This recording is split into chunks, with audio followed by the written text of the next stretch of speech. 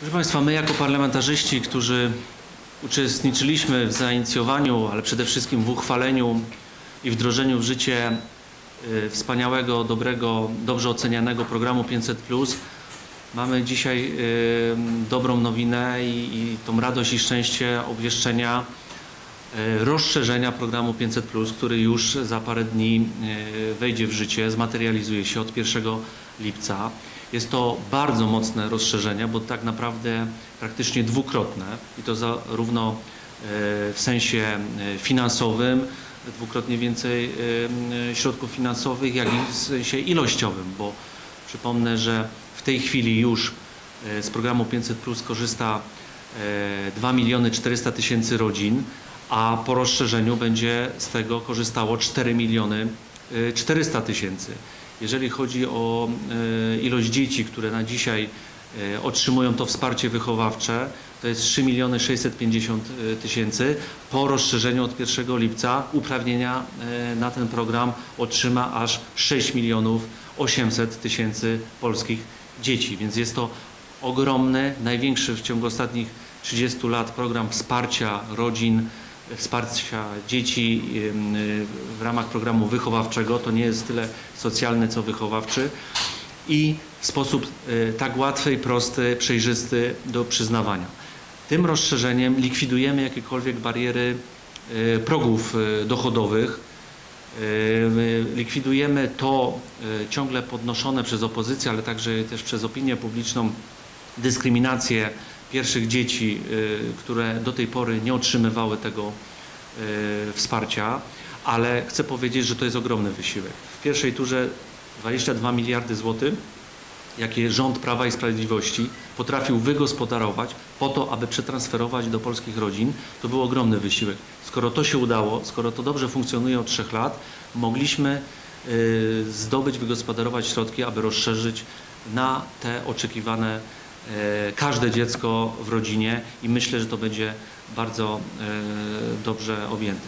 Proszę Państwa, poza likwidacją e, biedy, ubóstwa, poza daniem szansy na lepsze i właściwsze wychowanie dzieci, pozwolenie wszystkim polskim dzieciom korzystania z dobrodziejstw cywilizacyjnych, jak jest też oferty kulturalno-światowe, rozrywkowe, a nawet spędzenia po raz pierwszy wakacji.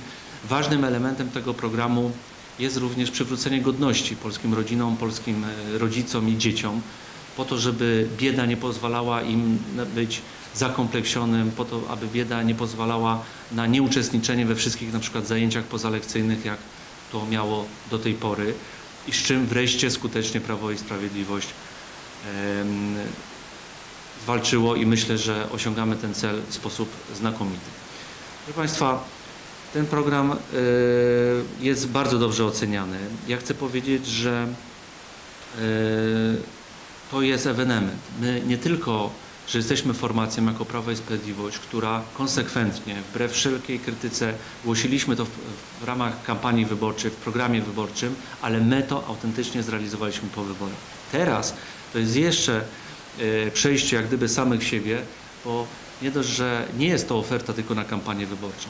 To jest zrealizowane przed wyborami.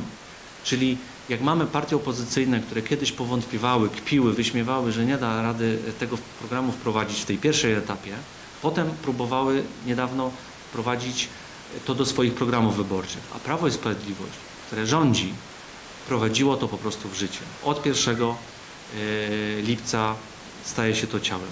Mało tego, chcę powiedzieć, że uproszczenia dotyczą nie tylko tego, że nie ma systemu jakiejś tam dyskryminacji czy wyszukiwania dochodów, żeby komuś uniemożliwić.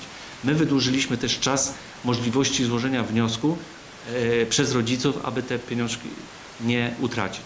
Otóż mamy aż trzy miesiące, żeby złożyć wniosek i e, od złożenia wniosku po rozpatrzeniu pozytywnym wszystkie pieniądze, nawet jeżeli złożymy w sierpniu wniosek, we wrześniu, to z refundacją od 1 e, lipca będą pieniądze w późniejszym czasie wypłacone. Również u tych e, rodziców, których szczęście nastąpi dopiero po dacie 1 e, lipca, czyli urodzi się dziecko w późniejszych miesiącach albo latach, też nie musi w ciągu pierwszego miesiąca po porodzie biec do urzędu czy w sposób elektroniczny złożyć wniosek o, o, o właśnie takie wsparcie, ale również ma aż, rodzice mają aż 3 miesiące, żeby ten wniosek zrobić i refundacja wróci aż od dnia urodzin. Myślę, że tak sprawiedliwego, uczciwego, nie powodującego jakiejś utraty za, za niedopatrzenie terminu e, programu naprawdę trudno szukać w innych, w innych dziedzinach i w innych ofertach. Ja chcę też zwrócić uwagę, że to jest wsparcie również dla tych dzieci, które e, są w placówkach oświatowo-wychowawczych, które mają to nieszczęście być półsierotami, sierotami lub są w rodzinach zastępczych. Ten program też je obejmuje.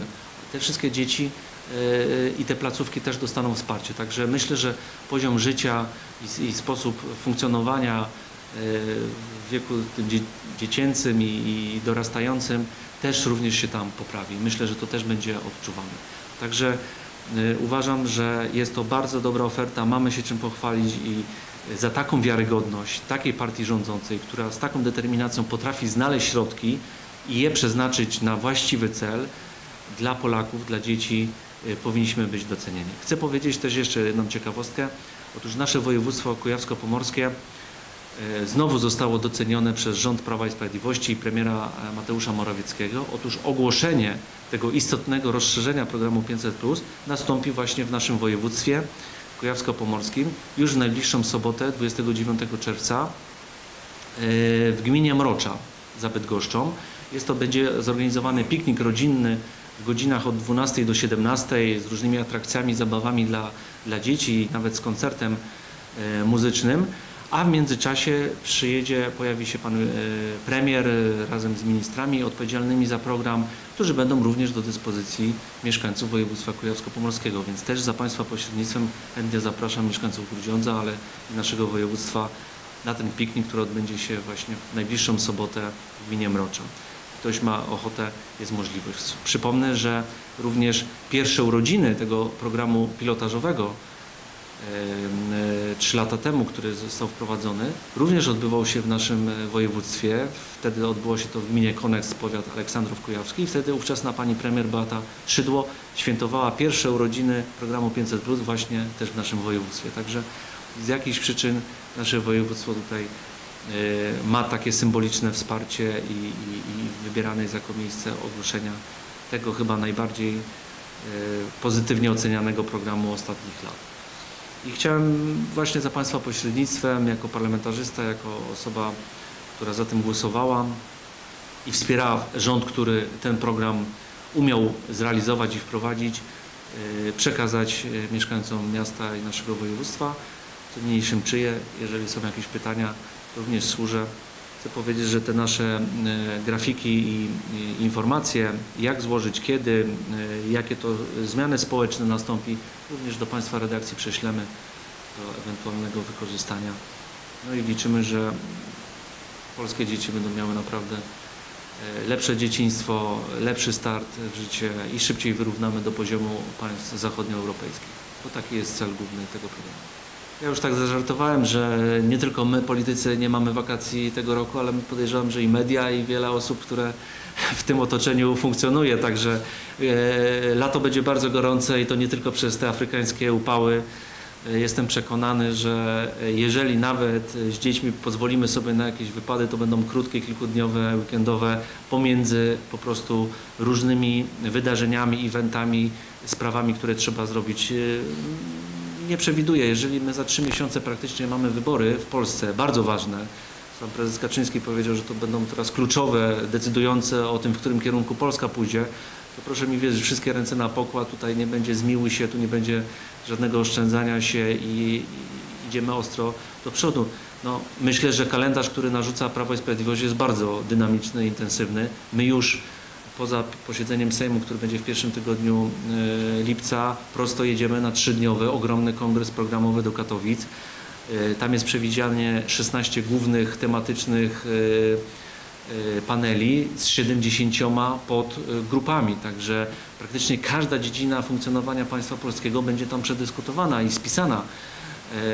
To jest już po głosie pierwszego takiego wielkiego kongresu sprzed czterech lat, ale teraz myślę, jesteśmy o niebo bogaci w doświadczenia, w praktykę, w ilość ekspertów. E, jednak cztery lata rządzenia daje ogromną siłę i, i możliwość zaprezentowania różnych możliwości, też i zmodyfikowania pewnych rzeczy, bo wiadomo, często jest tak, że pewne oczekiwania czy pomysły w trakcie próby realizacji weryfikują i wychodzą pewne nowe okoliczności, a nawet i sytuacja, myślę, społeczno-gospodarcza w Polsce też się istotnie zmieniła przez nawet te 4 lata, to ten kongres ma ogromne y, znaczenie i myślę, że ono będzie takim początkiem kampanii prawdziwej, y, programowej, medialnej i nadawała ton, do której będziemy się wszyscy odnosić. Mówię już szeroko o całej klasie politycznej, o opozycji, która myślę jest na etapie, że nawet na razie nie wie y, w jakiej konfiguracji będzie startować, a co tu mówić o programie czy o jakichś propozycjach sensownych dla Polaków, ale to tym bardziej myślę, że warto, aby Polacy się przysłuchiwali, wykorzystali te wolne wakacje, aby może zastanowić się autentycznie, czy poprzeć wiarygodnych tych, którzy realizują i myślą o sytuacji polskich rodzin, czy osoby, które jedyne co mają do zaproponowania to odebrać władzę, pozbawić kogoś władzy. Myślę, że to nie jest najistotniejsze dla przeciętnego Polaka e, dylemat. Ważniejsze jest to, żeby efekt tych rządów, lubianych czy nielubianych, był taki, że nam żyje się lepiej, dostatniej, wygodniej i myślę, że to jest najważniejsze. A taka oferta jest już teraz sprawdzalna. Teraz już nie trzeba nam tylko zaufać na słowo. My prosimy o uczciwą ocenę naszej pracy i myślę, że każdego dnia, tego lipca, sierpnia i września e, będziemy to przedstawiać i, będziemy udowadniać, że tak było i jest. Też Prawo i Sprawiedliwość myślę wiedzie tutaj prym, bo już szefostwo okręgów wszystkich wyborczych ma do końca czerwca, a więc raptem parę dni, przedstawić listy alfabetyczne wszystkich kandydatów, jak, jakie władze okręgowe uważają za najstosowniejsze, żeby tutaj wystawić. Tak więc listy tych około 25-26 osób będą słane już w ciągu kilku dni przez szefostwo okręgów do, do, do władz centralnych. No i Prawdopodobnie w ciągu lipca będzie to ułożona kolejność, a w sierpniu, zgodnie jeżeli mamy mieć tak wczesne wybory, to już w sierpniu trzeba będzie pod koniec rejestrować listy i to już będzie wtedy znane. Aczkolwiek znając doświadczenia e, kampanii poprzednich, praktycznie do ostatniego dnia one będą troszeczkę w niepewności te listy, zawsze mogą się zmienić. E, może poza głównymi aktorami tych naszych lokalnej tutaj, e, naszej lokalnej sceny politycznej, ale wiem, że to jest właściwie ogłaszane dopiero w okolicach dnia rejestracji. Scena polityczna w Polsce dosyć się już e, ustabilizowała. Mamy na scenie raczej partie, które nie pojawiają się e, po prostu tak okazjonalnie, tylko tak jak prawo, główni gracze Prawo i Sprawiedliwość, Platforma, PSL, e, jednak od lat funkcjonują no i mają jakiś komplet polityków, którzy wygrywają te wybory. No trudno trudno polityków, którzy wygrywają, jak gdyby zmieniać. Zawsze się poszerza, dlatego, dlatego zawsze oferta jest jak gdyby posłowie plus, tak?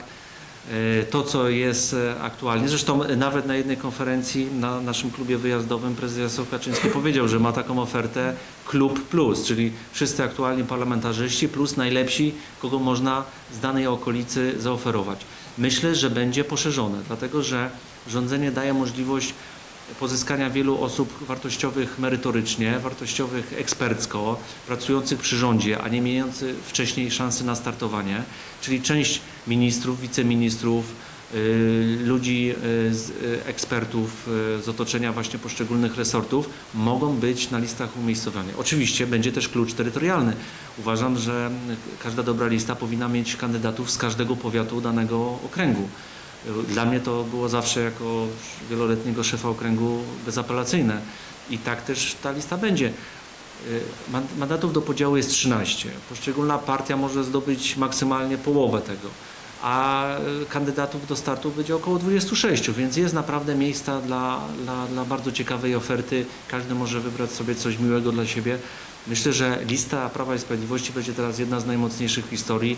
Nawet niektórzy z tych nazwisk, które nowe mają dojść, uważają, że będzie grupa śmierci. Także yy, będzie naprawdę ostra bitwa między kandydatami na liście, żeby utrzymać się, żeby zdobyć ten mandat, ale to maksymalizuje też wynik wyborczy i to jest też jakiś kolejny przejaw e, umiejętności politycznych Jarosława Kaczyńskiego, który nie pozwala spać spokojnie tym, którzy są dzisiaj wybrani, tylko zawsze ich motywuje takimi mechanizmami, żeby maksymalizować, e, wyciskać jak gdyby do maksimum e, umiejętności i, i sposoby kandydatów na to, żeby tą kampanię robili jak najlepiej, bo suma tych indywidualnych kampanii to jest zwycięstwo po prostu ugrupowania. No pod tym kątem no, myślę, że tu Jarosław Kaczyński nie ma sobie równych i, i to wykorzystuje e, bezwzględnie, no ale z korzyścią dla realizacji swoich celów.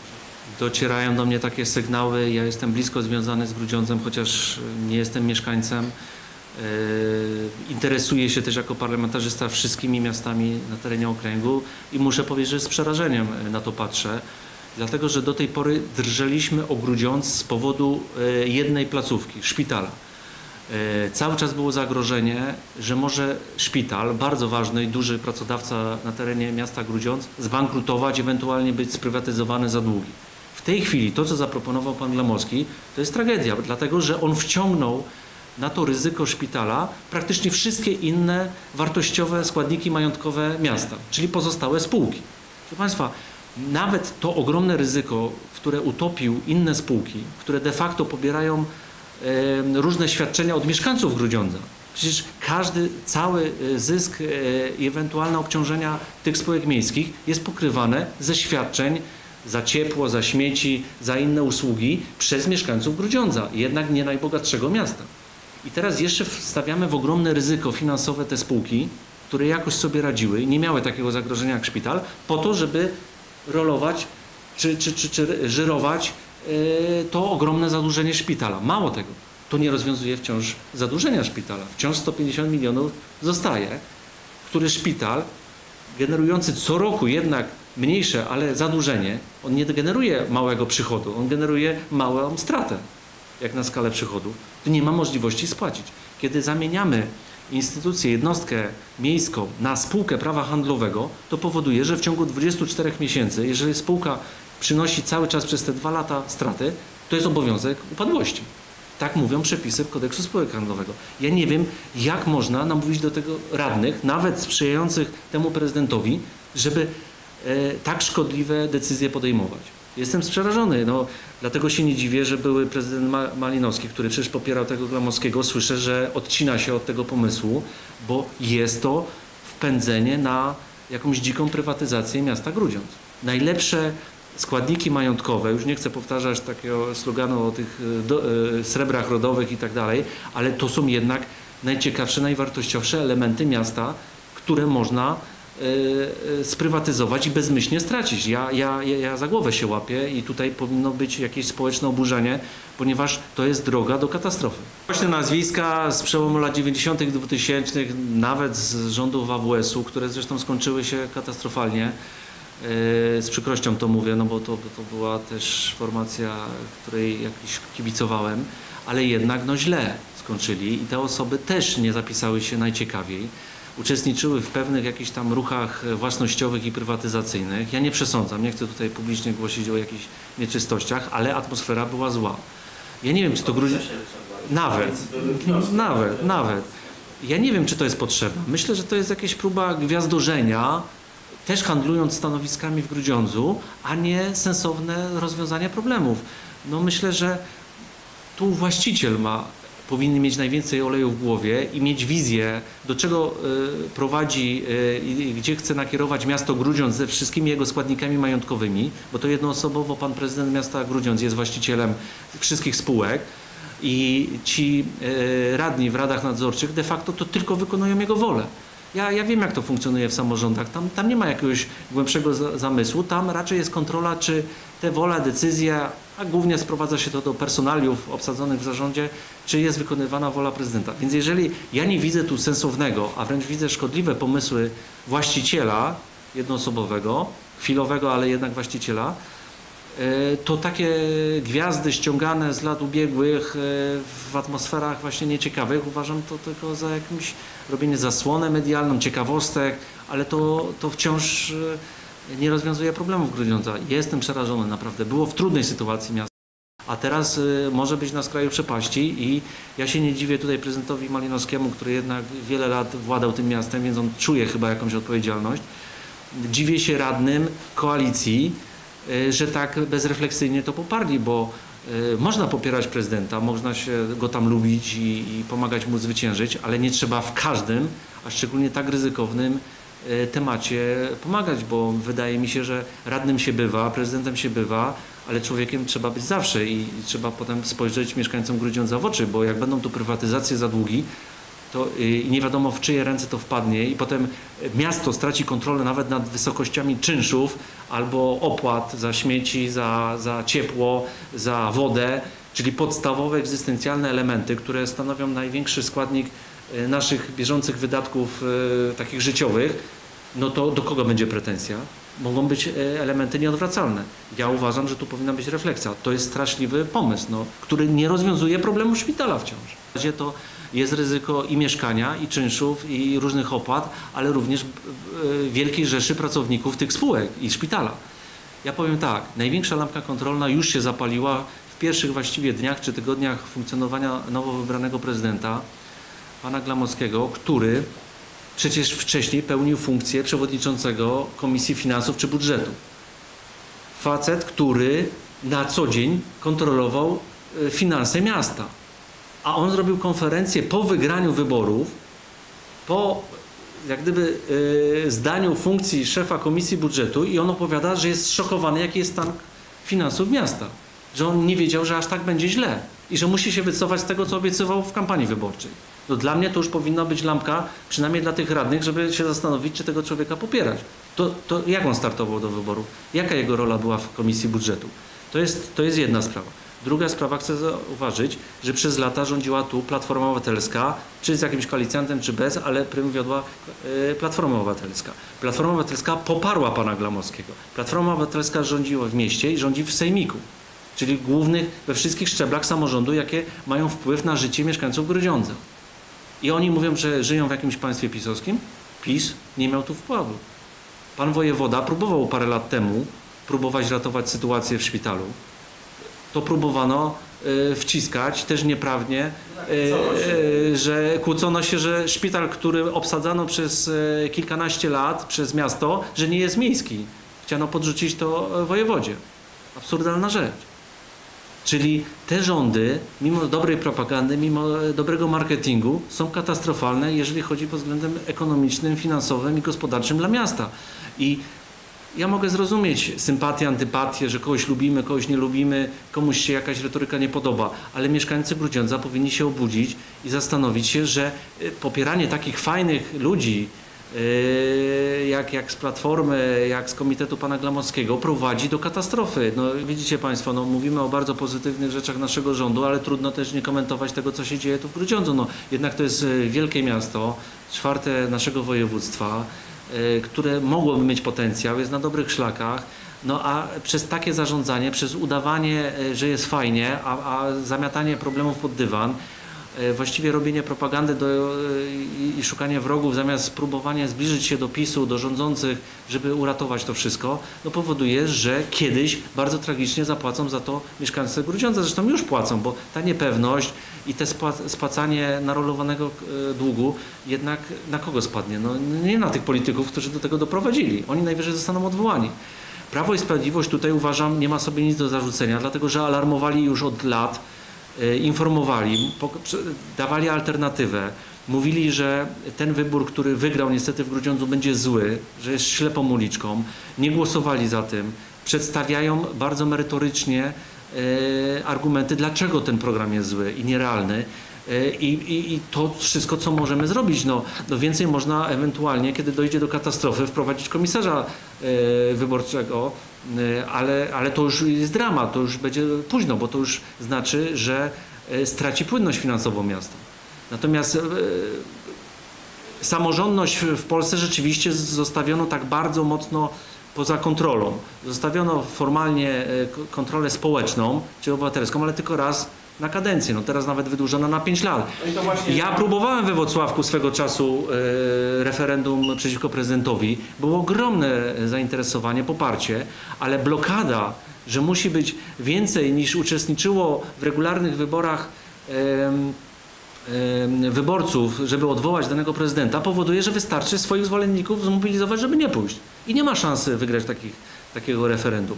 Uważam, że tu trzeba to znacząco zmienić, poprawić, żeby autentycznie władza lokalna e, miała respekt przed gniewem społecznym. Tylko e, dobre, mądre rządy centralne powodują, że e, niwelujemy takiego rozpasania i takiego brak kontroli nad samorządem. I dobrze, że Pan wspomniał o, o tych deklaracji tych samorządowców, bo to pięknie brzmi, niech samorządy same się rządzą. Tylko, że ci ludzie, sygnatariusze tego wszystkiego, samorząd rozumieją jako my władza.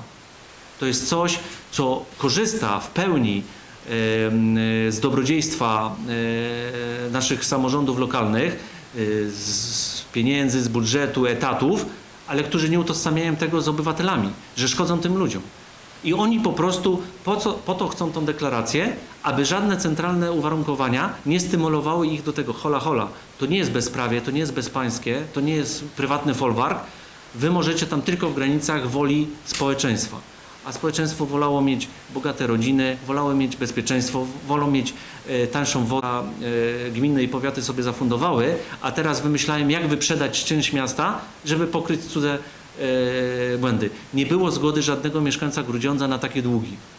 A władza, samorząd rozumiany jako władza, dorobiła do tego, że prawdopodobnie mieszkańcy przez wiele dziesięcioleci będą spłacały dług i być może nawet do komisarza się do, do, doczekają.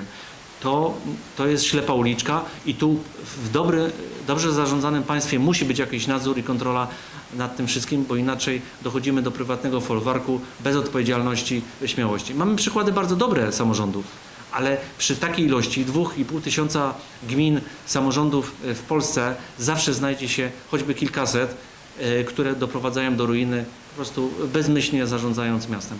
Grudziądz niestety zaczyna coraz bardziej dryfować w bezmyślność i w katastrofę.